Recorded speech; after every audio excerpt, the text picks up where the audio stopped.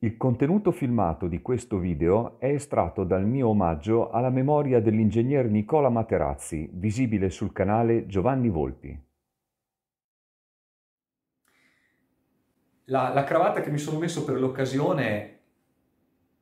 è in un color rosso scuro, che è uno dei, dei colori storici della, della, Ferrari, uno dei primissimi colori con cui, con cui venivano verniciate le vetture, credo che fosse sia chiamato il rosso barchetta, un rosso molto sanguigno, e qui abbiamo appunto dei cavallini dorati. Questa cravatta risale all'epoca in cui ero ancora studente ed ebbi l'occasione per un poco più di un anno di partecipare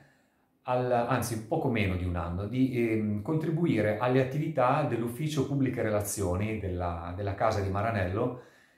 quindi parlando con semplici turisti, partner industriali, ospiti VIP, eh, quindi lavoravamo all'interno della produzione, del, del, reparto corse, era l'epoca di Michael Schumacher, quindi insomma abbiamo vissuto un'epoca stupenda e, e, devo dire che il mio lavoro, essendo stato molto appassionato nel raccontare tutti i contenuti tecnici, i processi di produzione delle vetture, poi ci mettevo t- tanti aneddoti che imparavo io così eh, per vie traverse, eccetera. Ecco, è stato un, un lavoro che mi è piaciuto molto e soprattutto mi ha dato soddisfazione eh, nel, nella, nel vedere gli ospiti addirittura certe volte applaudirmi quando completavamo il giro dello stabilimento e della, e della squadra corse talvolta,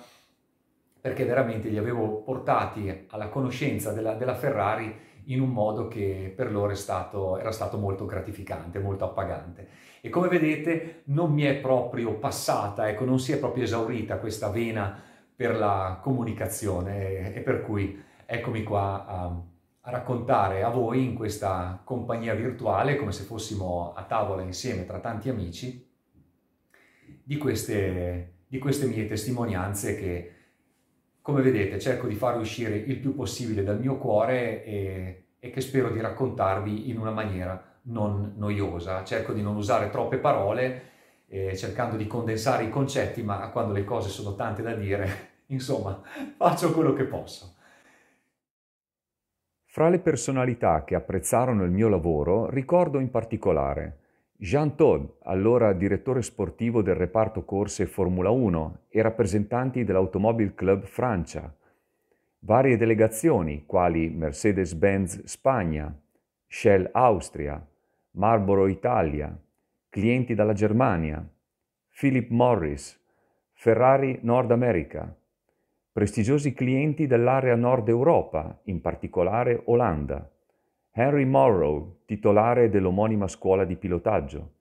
Autostrada del Brennero, infine vari Ferrari Club e la cantante Ivana Spagna.